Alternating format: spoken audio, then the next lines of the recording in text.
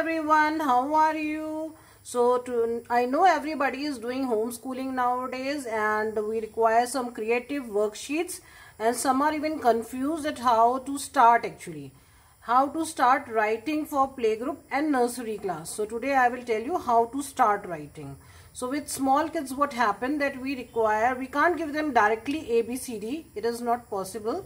So we have to develop the writing skill so like this worksheet you can see uh, we can start with sleeping, slanting, straight lines, curves, all this type of uh, exercise we can give to the kid in playgroup also and in nursery also. Both the classes they require practice actually because uh, they have to practice a lot. So but if you will give them directly so they will be feel little bored or they will not do it. Uh, so you have to make some creative worksheets. I've already told you in my pre in some other videos how to draw a butterfly also. So you can draw a butterfly and then you can tell make it interesting. Tell the child that okay my uh, so my child help the butterfly to reach the flower. So the then you can tell that this is the dots and they have to actually join the dots like this and you have to color it also. Give them thick crayon in the starting. If the child is in playgroup, give them thick crayon. If the child is in nursery, you can give the child a pencil also. So it depends upon the age of the child. So they can color it also. It can be little interesting for it. You can just uh, say okay help so that is a very good thing the child will feel okay i'm doing some activity also so you can give for straight line in the similar way in the same way you can give them the exercise for um, slanting also. Like these are the clouds I have made. In one of the video I have told you how to draw a cloud. So you can draw a cloud and then you can just draw some paper boats in the um, paper. And then you can tell the child that you have to help the clouds to they have they are dropping the droplets.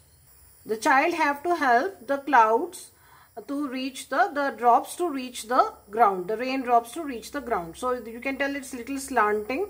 So the child can just practice the same thing for playgroup thick crayon and for uh, like uh, nursery three years of age you can give them the pencil let them color it also. The child will feel okay i'm doing activity. And after this i will tell you you can help you can give them the curves and then they can practice the curve. So sleeping line, slanting line, straight line, curve.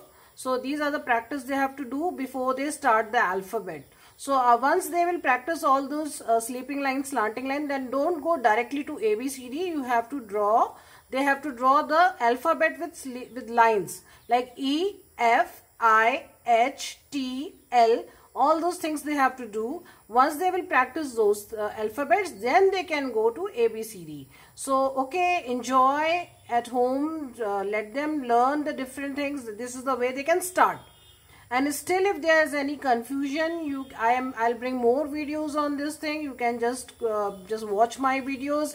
And if you have not subscribed my channel so please subscribe and share with all the educators and parents whoever want to learn draw uh, this is a actually channel for drawing also. They want to draw something. They want to like do some activities and for homeschooling purpose. Okay so till my next video i just want to say bye